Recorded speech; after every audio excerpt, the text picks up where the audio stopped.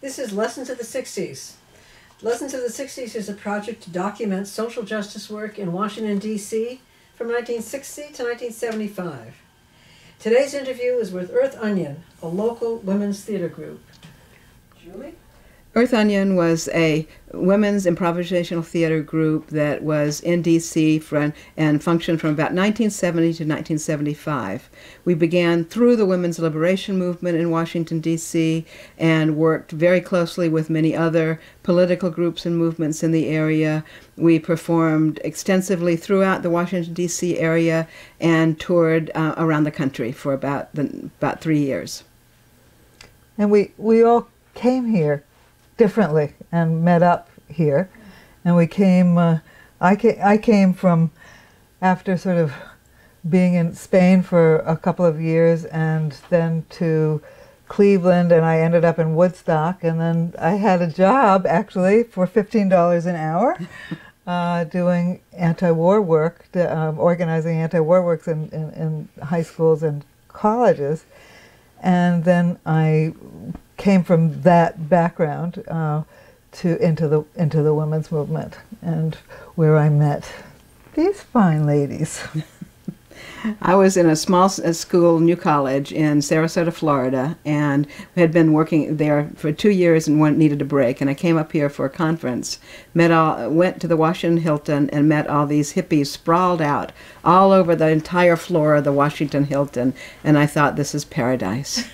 and I, you know, met, uh, went to a couple of group houses that were cooperative housing and met more people. Of course, there's a man involved and um, ended up uh, coming back in January uh, of 1969 uh, to live in Washington in an intentional community.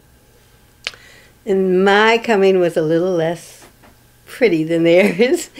I was working in Chicago for the Labor Department on a project that I was having some trouble with because I was trying to implement the project as it was written.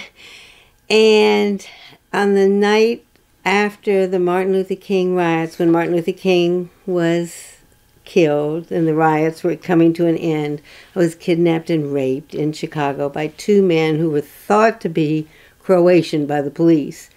But whatever it was, the Labor Department the next day, the people that I was working on the project with, called the labor department and they said that they would send people to pack me out and for me to come back to DC. But my friends packed me out and I left and came back to DC.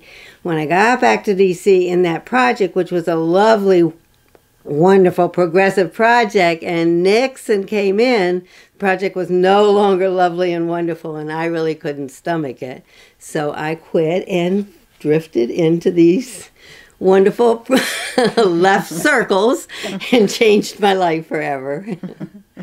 so, uh, so how do you think? I mean, because why don't you tell us about your introduction to Earth Onion? How that how that how that came, and yeah. also how the name came, Earth Onion. Uh, yeah, we can talk about that. Yeah. why don't yeah. you tell about the name? Okay. See what okay. your memory says, because okay. I got one too. so talk about how you because yeah. really okay. you were instigated. okay. One of the um, instigators. Well, I think that in the course of my development, I was exposed to free Southern theater, which I just loved. And bef- between graduating from college and getting involved in civil rights again, I was li- living in Tampa where I did some community theater. I've always loved theater, theater since I was a little girl. And I think that I thought if you could have a life in theater, you'd have a wonderful life. But it was not wonderful in the community theater because the people were really backstabbing, mean people. So in my mind, I thought, well, you can never do theater. You got to cross that off. But when I saw Free Southern Theater down south, I thought, ooh, there is a possibility that you could do theater with wonderful people and say something wonderful. So that was always a yearning of mine. And then as the Women's Liberation Office became more and more um, anti man to the point that they were anti babies. Uh, Male babies. male babies, anti male babies for the New Year's Eve party. And at that point, Jan Fenty and I realized it was not our movement. That women's liberation office movement was not ours because we really believed in babies and you could be whatever you were when you were a baby. So at the meeting where Rita Mae Brown told us that we were not women identified women, uh, Jan and I stood up and said, Well, this is not our movement then. And Judy Davis remembers me standing up and saying, I don't know what I'm going to do, but I think I'll start a women's theater. And that was. That was the kernel, and I guess through our whole connection, my kind of thought of it is that Carol kind of knew what was going on, and Carol kind of got us all to come together. Carol Weisberg. Mhm. Yes. Yeah. So And- how did you actually start? Tell us about the start. I think there were people, you know, there were uh, many people who were interested in doing it, and Carol really brought us together. There were, I think, about a core group at that point, of about nine or ten people that changed over the first year. And people had backgrounds in theater, wanted to dance, wanted to um, do political theater. We all had different ideas of what we wanted to do. And so we started meeting um, in each other's house houses and jamming. And one of our goals was never to have another meeting. that lasted about five minutes. so we obviously, but um, anyway, that was really our goal: is to play and dance and do things differently than having meetings. And we really wanted to get out of the dogma and the rhetoric and into our bodies and and uh, be able to express underneath. We talked about instead of consciousness raising, we talked about consciousness lowering, and uh, definitely in our bodies. But we started off. One of our first performance was a, um, as, as Julie said, this group of folks who had come together, and we performed for the the um, the National Liberation Front, Vietnamese National Liberation Front birthday party, and we got a little whiff about, oh my goodness, this is so needed. It was it, it- people loved it, we loved it. It was very exciting, and it was so invigorating. And, and such such a need. I want to emphasize that because I feel it still is. but it was such a need that we were filling at that time. And so for the first year, for the, from 70 to 71, we really did do a lot of politically oriented uh, theater. We were also inspired by groups like It's All Right to Be Woman from New York and uh, Caravan Theater from Boston, who were theater groups who, who we saw and got excited about. There was very little theater, uh, theater in the sense of fringe theater going on in Washington, very different than today. Um, so, so we really were initiating that. So we did a welfare piece, and we did later we did a, a piece about Medici from uh, from Brazil, who was a dictator of Brazil, and we evolved then into doing um, our our what became our um, two-year uh, play that we did, which was Woman Potion, which we'll talk about later. But tell about the the meet, what you remember about the meeting. About, oh yeah, about how we right, formed right. our thing. Basically, I think it was at my house in Takoma Park, and we were in a circle, and we were just jamming with songs and singing different songs from the '60s and various things, and we were very stoned. And anyway, we um, basically came up with, uh, started with Earth Angel, Earth Angel, and that somehow morphed into Earth, Earth Onion. so, we liked it. onion, peeling the peeling the layers. layers of ourselves, um, and having many, many layers and many, many colors of onion, and and and I'll remember say this now because I won't remember it later. Is that eventually there were scallions, little scallions, who were part of her Onion, Yes, yes, and yes. many scallions. and Did you We- travel? Did you go around the country with her? Yes, we did, yes. yes, we We, had three major tours and then a lot of other tours. Our first tour was in the South, and we were in a mail truck, which broke down several times, and in Susie's Renault. And we had eight women and two babies. And the, the mail truck was we you know it was converted so we could sleep in the mail truck. So some people would sleep in the mail truck, other people would sleep in houses along the way. And we ended up at one point in Atlanta in my suburban house, and we were there, you know, rehearsing madly because we had this. We had a show. Our first show was a show called um, Elsa and the Tuntlerwald, which the best I can think, it was formed from a fairy tale, from the Purple Fairy Tale book, and it was really about liberation and utopia. now, God knows what that had to do with anything, but that was it. It was very movement oriented, very surreal, very dreamlike, um, Freeing and women. and freeing women, going, you know, moving to a perfect community of all women. And we managed to perform this place, in, this play in um, Atlanta, Georgia, at a couple of places, and in Fort Bragg, at the FTA Coffee House.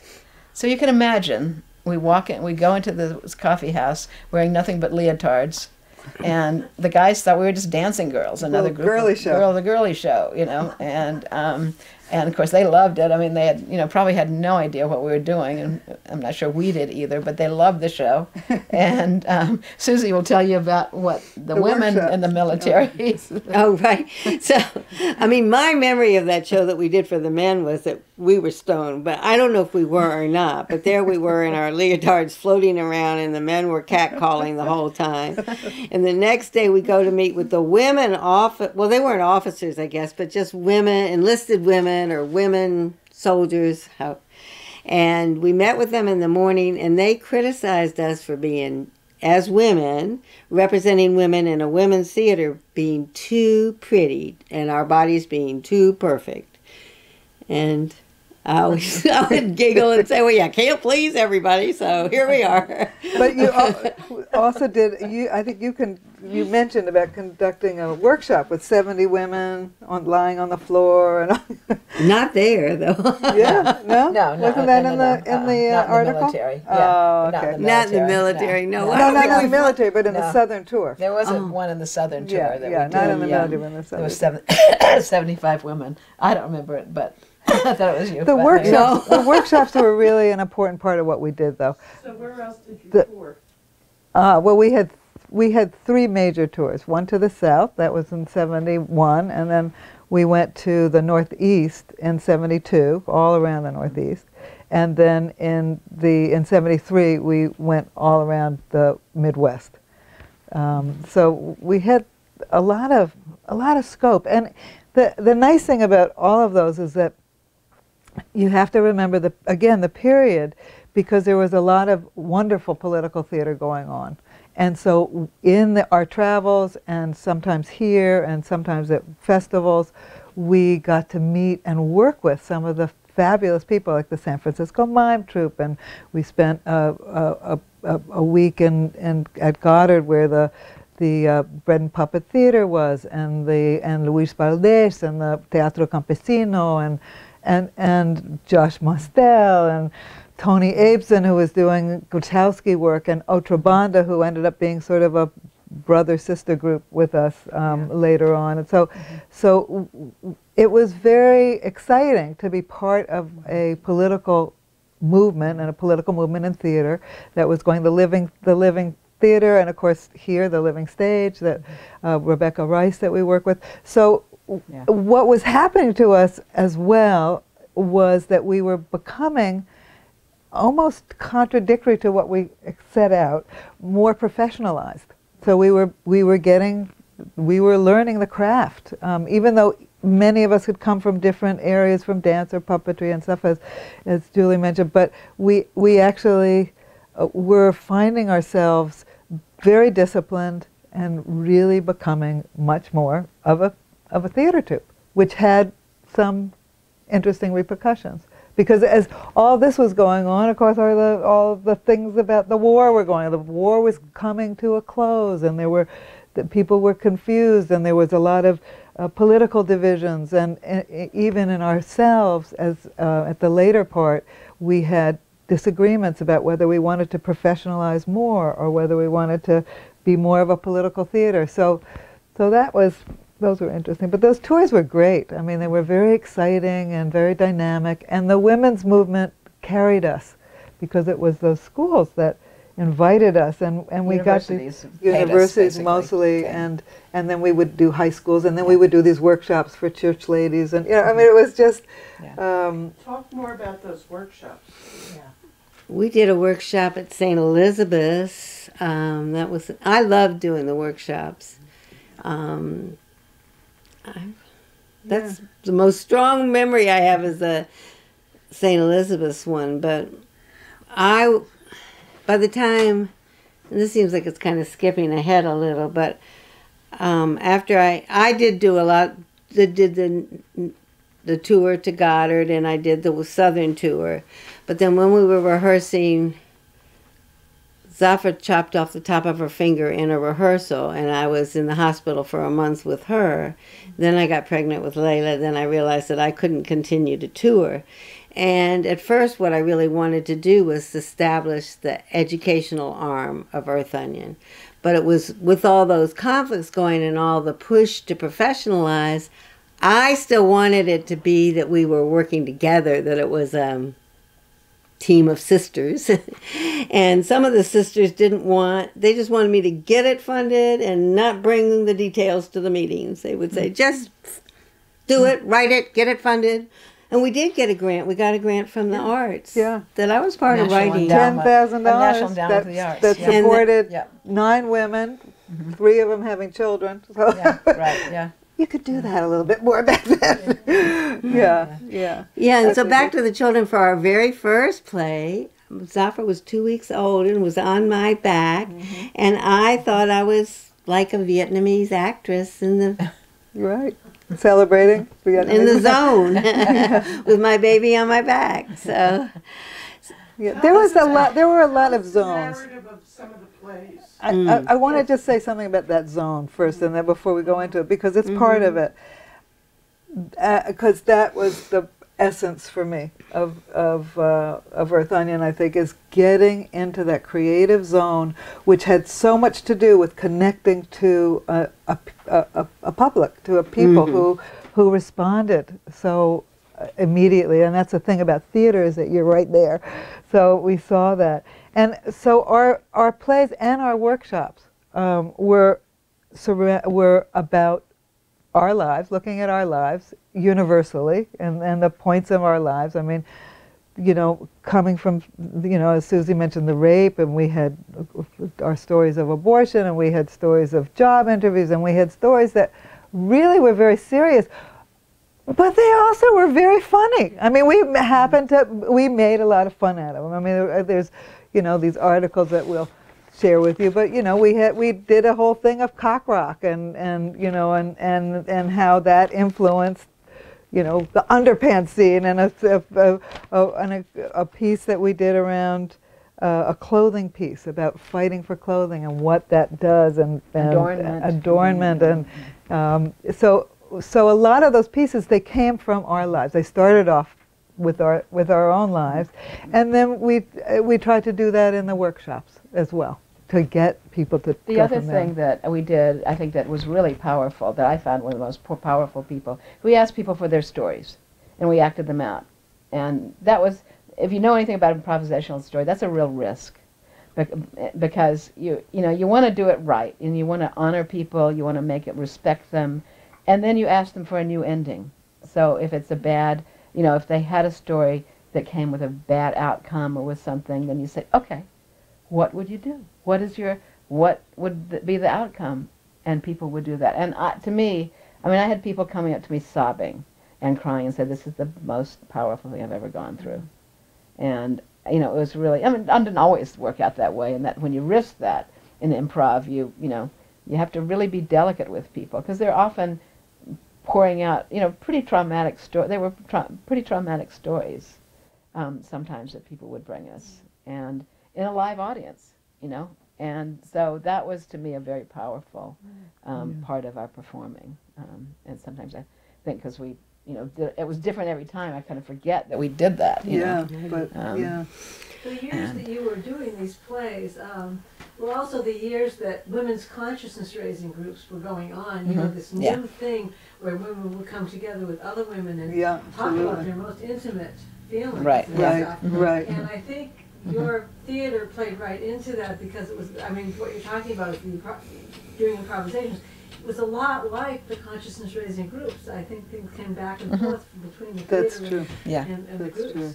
Sort of was a link Yeah. Mm-hmm. and and kind of to go along with what Lynn was saying about the conflict between professionalism and what brought us together at first was just a personal exploration is I think as we did develop artistically with the play Woman Potion, which was the main play that toured at the mm-hmm. end and had all these scenes in it, is that some people wanted one of the criticisms was that we didn't have a director that we each developed different portions of it and then those were part of the performance but that we didn't have a thread of directorial leadership through us and it, it had its pros and cons Yes. you mm-hmm. Yes, know it was more Right, in a yeah. way it was more like a variety show i guess Yeah. because it was Yeah. threaded together mm-hmm. that way but it also had a lot of flavor and spunk And we didn't have a writer either. We each wrote our own pieces, and we each, um, you know, kind of, yeah. So, yeah, a lot of uh, people who are very engaged now are going to look at this and they're going to wonder would you, if you were going to do this now, what sort of themes, what kind of stories would you do now? Or Really good how question. would, yeah, or how would the pieces you've done in the past relate to things that are happening now? What are the issues? Well, it sort of relates to your your question of that. Sort of relates to what we're doing now too. I mean, in a way. I mean, I I, I think that it's not it's not a different process. I mean, personally, I'm I've been I was involved with a a group of, of women who were um, from 12 different Latin American countries, um, some of them uh, undocumented. And so we did this style of, uh, of work, that Earth Onion work, to learn English. And so it was very interesting. We ended up doing a forum, forum theater in our community and, and a little bit beyond to bring up questions of immigration. So that's very pertinent right now, for example. But I, I think, you know, what I don't know, what other things would you, and you did workplace theater. I did workplace theater in a, in a big county government where they just tasked me with doing workplace theater to basically use humor and community building to get over some of the things you have to do in a workplace, like learn a new computer system. I created a radio um, a drama series that, that people would get on their phones that was about the next step in this horrible computer system that everybody hated. And then I did a how to be how to move. It was kind of how to be a millionaire skit that everybody could be part of. And what I found from that, you know, it was just kind of what happened once, and then people said, the director of the department said, "Could you do this again? Could you do this again?" It really was like use of humor and as building and theater is building community. And I feel like that's what I've looked for in anything else I've done is building community, and you know, theater has informed that. Um, now I think uh, what I find it's very hard, and I, you know, my son has done a play, and for his first play, and he's found it, and his partner's a playwright, is that you're, you can't reach many people as, in theater. I don't think. I mean, unless you use social media, unless you use film, it's eh, it's just there's so many more of us, and so, and the world is so much bigger.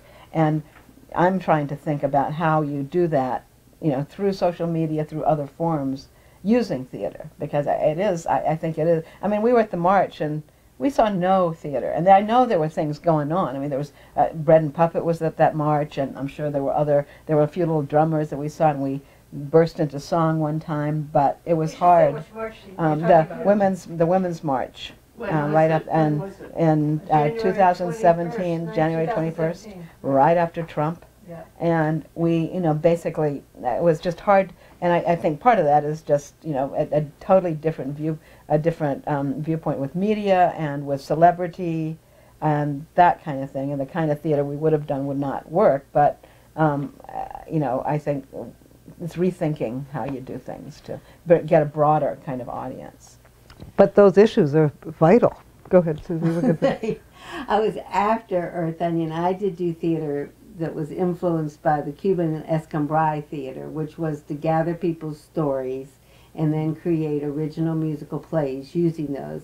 And then, based on the Earth Onion experience, we did have a playwright in residence who would we would improv from the oral histories that we collected, but then the playwright would structure the improvisation with a playwright's view. And it's, I think Julie's right that you don't reach people through theater, but when Trump was elected, I mean, probably the next day I thought, if I was a young person, I would really like to go off into those Trump communities and mm-hmm. do Escambray style, come in with folk tales and work my way in and try to get those issues and try to do this, do that style theater. But I'm mm-hmm. not, so. there, there are lots of issues, Yeah, and they're very similar. So what impact do you think that Earth Onion had on the communities you visited Mhm. and even in the local Washington community? I want to say something here, as a person who's not an Earth Onion. That's a good question, but uh, to me, who was a, I was a peace activist at that at that moment. Um, you guys seem to be showing up everywhere. You know, at, at many different kinds of uh, during or after different marches and whatever. You know, so what are some of the community things in DC that you sort of that you sort of worked on? I know housing was an issue for for some of you, and uh, wh- what other issues were you?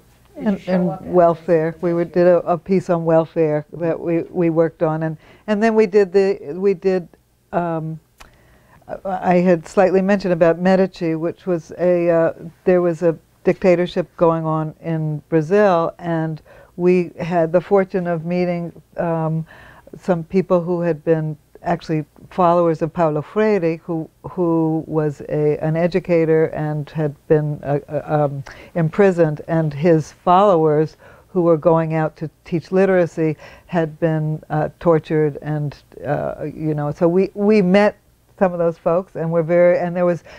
Uh, Augusto Boal was a, a, a, um, a, a person who did theater, forum theater also at that adjunct, what we used to call agitprop at that time. So we got very influenced by that, and we're in Washington, so it's a very political environment. So I think we were very, you know, we were, uh, we did some a, a great piece on on that with. I know I was Medici. We had Yes. Who who was on my lap? Who was Nixon? We- have no Our puppet Nixon. Well, we could do a lot of things today too. Yeah, right, yeah, exactly. yeah. But um, so we would do things like that. It was more guerrilla theater style. But we also did, you know, we did show up. We were part of Yeah. celebrations and, Right, yeah. uh, you know, I think those workshops actually were very important too to get into different things that were going on. And I think we were teaching other people how to do the same thing. I mean, Right, that there were groups, right. other groups that were forming that wanted to do theater, street theater, and you know various things. We did workshops for them so that they could go out, create their own pieces, and um, you know, and go into the community. And I remember working with Yeah. other Could you tell other us groups. a little bit, for so. people who don't know, who don't know about it, would, would you tell our, um, our watchers of this, um, what the NLF uh, annual birthday party was? It went on for several years. Go on. How was it? All I remember was the it was the celebration of the National Liberation Front of Vietnam, Vietnam. and in particular, I, I, I, I know you know like we we did we say were still we at war. we were at war, of course, in Vietnam, and we were, you know, and many of us had come from working in anti-war movement as well. So we were celebrating that the NLF was a very positive force and also very poetic. You know, the mm-hmm. cultural. I, I think you know you asked about about what we did to the community. I think it was it was what art does for everything. It just gives the spirit and the soul and ref- reflects the soul and spirit. And so I think we did that through theater, but you know, certainly, as you know, you said there's lots of ways now that are going on with mm-hmm. whether it's you know social media and video and spoken word. but and- yeah, poetry, mm. and, and I think that, it, that theater is very viable in that as well. Yeah, that, you know, part of it. yeah, Yeah, yeah, and part of it. So it's a spirit. It was a spirit, and it was spirit for us. You know, for me, mm-hmm. and it Yeah. really. No, it definitely Right, was yeah, spirit. yeah. It yeah, yeah, yeah, yeah. And mm. I think it's skill building too. I think people always feel best when they accomplish something. And as a group of women, we gained a lot of skills. Mhm, mhm, mhm. and then taught those skills Yeah. to other people. share them and we you know we really were ordinary. So we we loved that we were ordinary. We weren't, you know, we weren't famous actresses as much as we might have wanted to be at some times, but we were, you know, we were just regular. And I think being regular people who could go out and express themselves, have a good time, love each other, you know, and really, you know, be be there was, uh, you know, something that really helped people to get that spirit. I get my spirits are raised, you know, again back to the women's march when you when I see these pieces of humor, when I watch and I can and I can laugh at a situation that's very difficult. It gives me the courage to go on. So that's what part of what we were doing, huh? Mm-hmm. And I will say one uh, when I, you asked the question about uh, Eddie, you asked the questions about what would you do now, and uh, one thing in terms of our feminism and our focus on women's issues is that it's taken me a long i mean i've been shocked by how far back we've gone in terms of women's issues and thinking about the clothing. I keep thinking about the clothing piece was basically this piece where we start out nude but in uh, nude leotards. And slowly talk about adornment and you know it's adding piece and piece and then pretty soon it's this frenzy of no i'm going to take yours i'm going to take yours no and fighting over clothes until we're just grotesque covered in clothes but uh, you know now there things. I mean, things have gotten so much more, um, uh, you know, focused on that on, on, on looks and I mean compared to Greed. our time, looks and beauty and if you're not a certain type you're gone and and the kind of folk and, and young women are you know buy into that all the time i mean that's just you know it has to do with the corporate the change in social media and and the um, ubiquity of, of big media that i think has so it, I've thought about how we would do that differently now, and it's a little bit scary. But I, am working with a group of people today, and we're you know we're trying to figure out that question. Well, what are we going to be talking about? And um, and it's a, women's group. It's very informal. But um, one of the things that, that we would, uh, you know, we've talked about is medical, the medical system and medicine and pharmaceuticals and and it can get very funny when you think of it, if you think of all the ads that are going mm, on and how we yeah. get captured by these ads with sudden death. so we're, you know, uh, there's so mm. many, there's so many issues. It's just finding what's close to your heart and going out there doing it. I think, oh, I was just going to add, for me, I think, because I have worked in schools and in middle schools and high schools, for me, one of the passions would be young women, school age before they graduate, but really middle school on, I've seen it, mm-hmm. where mm-hmm. young women really demean themselves for attention in really sexual awful ways and mm-hmm, mm-hmm. I feel very passionately about it, ho- wishing and hoping that I could find a way, and I still may be able to find a you way will. to help them build their own self esteem and realize their beauty and their power and their glory without having to demean themselves that way. And I think you could do that through theater. And that you could do right in a school, right, you know. Yeah.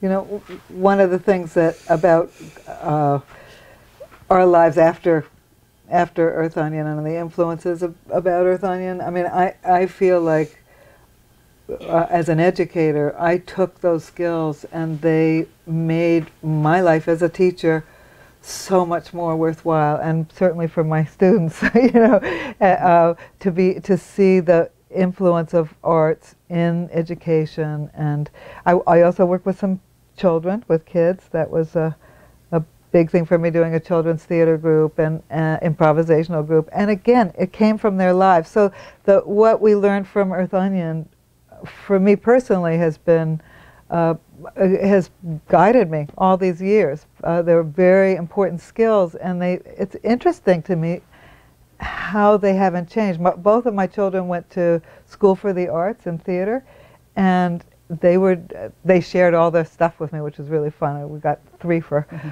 three for one, but um, but the the amazing thing is how the skills that we were learning were still being taught or still you know being used as as sort of pivotal points viola spolin you know all of those things. So anyway how about your lives?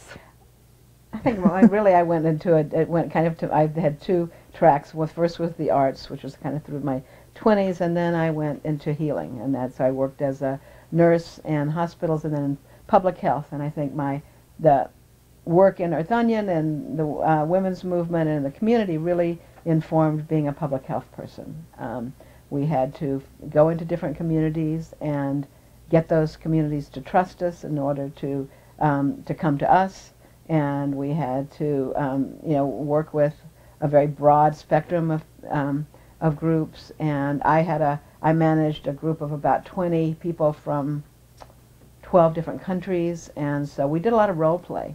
And I worked with people to do role play around issues that we were dealing with.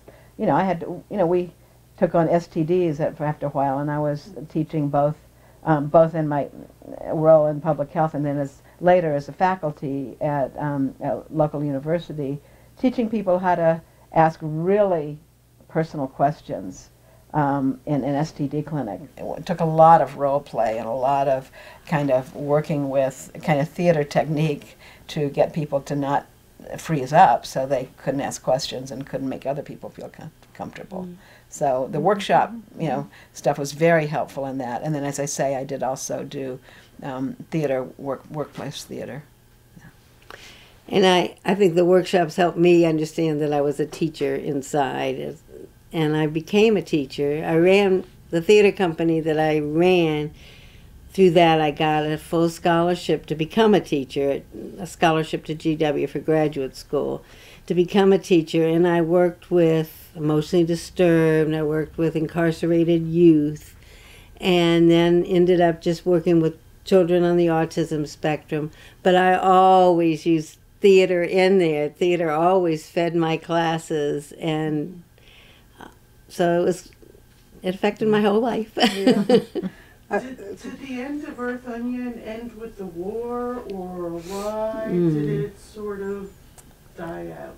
I, I don't. I don't think that it was a um, a coincidence that the war ended when and Earth ended. I think there were a lot of other things going on. Clearly, what we were talking about, our own divisions and and interests changing, our the the society changing, the shift, the priorities changing. Development and- of and- 20 somethings. And when you look at the theater groups, the political theater groups that have that have maintained, you know, Bread and Puppet Theater and uh, you know Luis Valdez and the uh, you know the uh, San Francisco Mime Troupe, all that we worked with, Living theater. they they were run by two people or one person, and they continued in that way. There were many other people that folded in and out.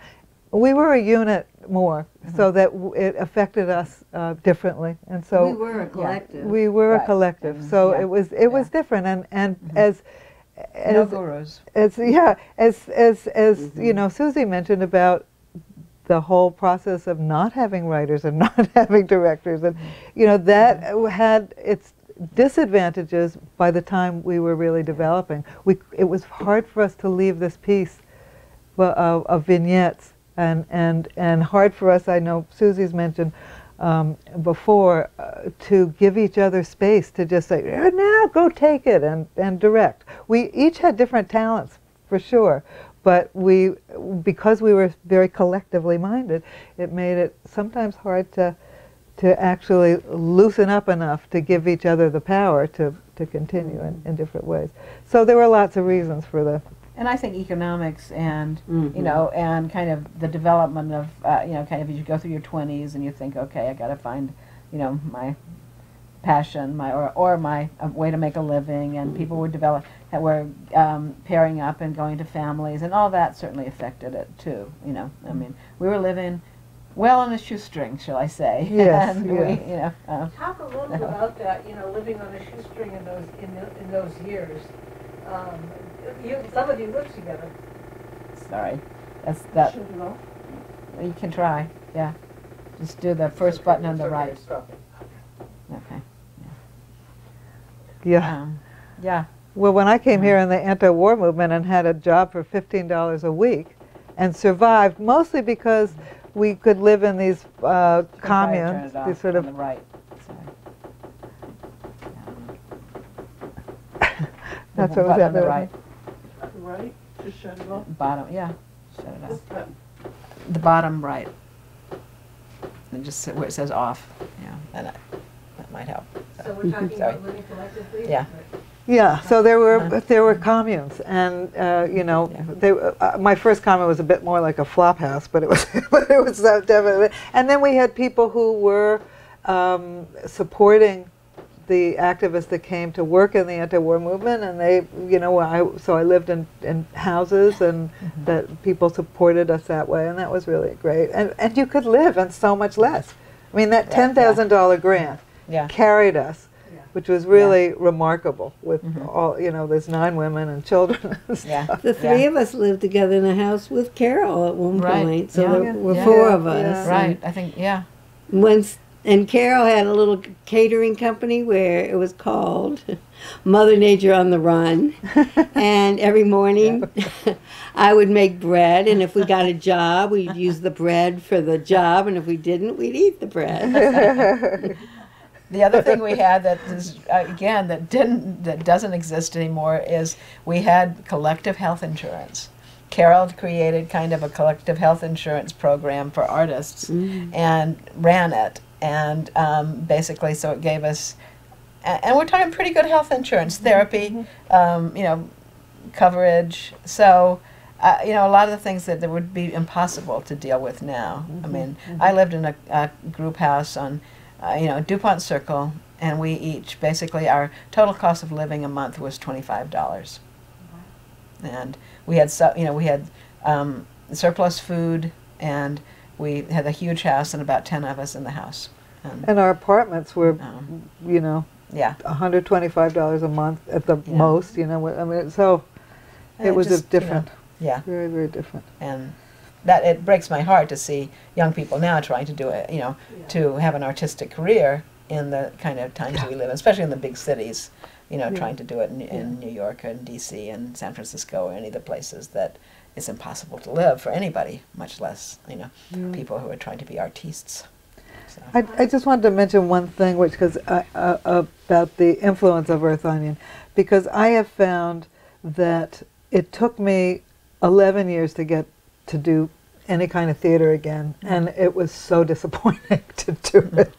It was very, very hard to replace that camaraderie and that that uh, uh, that inspirational um, way of thinking and waking up in the middle of the night with an idea and writing it down and we're going to do it and we're going to try this and having people that would work with you on that. And um, it interestingly enough um, I I did do a, a, a master's in education and I and my focus was Paulo Freire which was influenced by the interviews that we had had with with the people who had been, you know, working with him. And then later, I did a much later, I did another um, master's, and I worked with Sara Lawrence Lightfoot, who was a, a wonderful, um, a wonderful mentor who has a method, methodology of social science research, and was encouraged to do a what she calls portraiture and Earth Onion was the topic of that, and so hopefully you can show the movie that sort of was a result of some of that because there was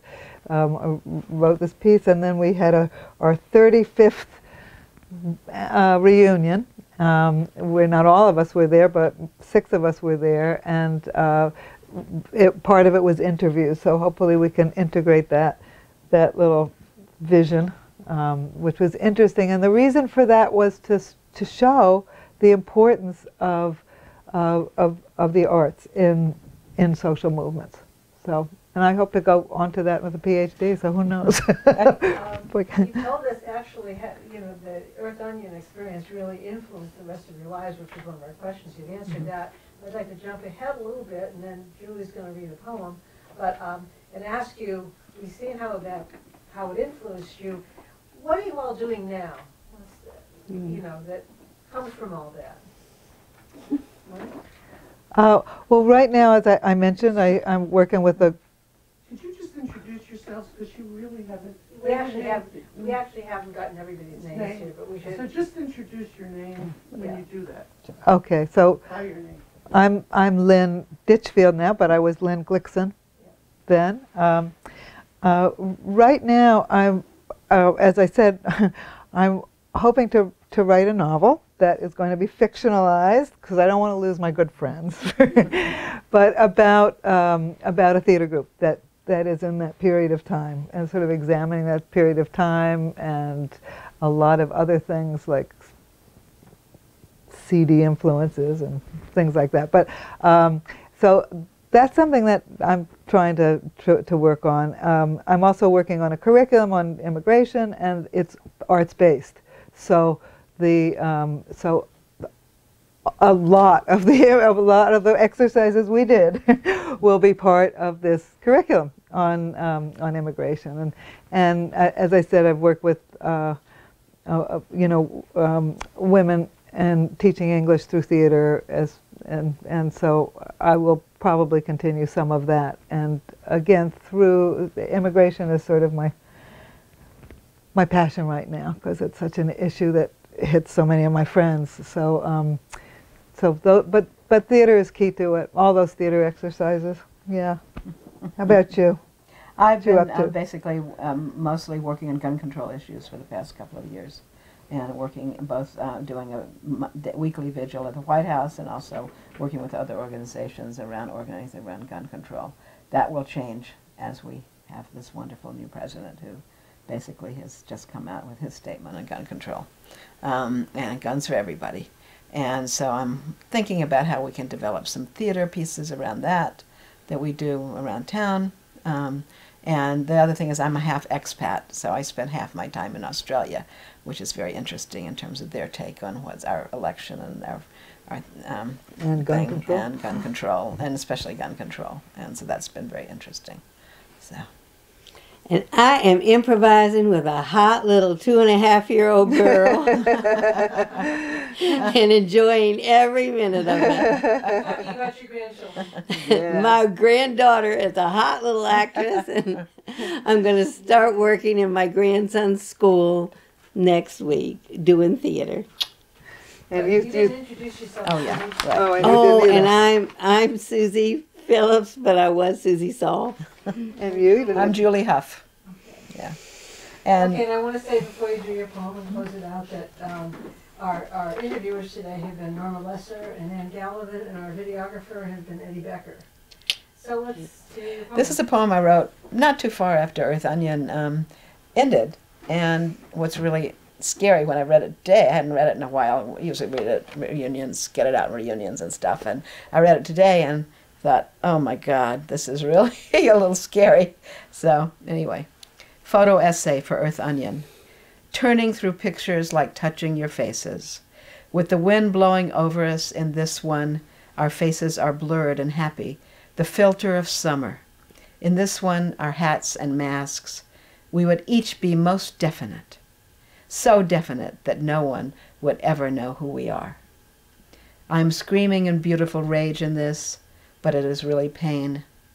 And here we are, all of us, dancing, dancing. Yesterday I wanted to cut them up, sever heads from bodies, bodies from each other, and scatter these across the room to lie in ashtrays, among the plants, and in the sink.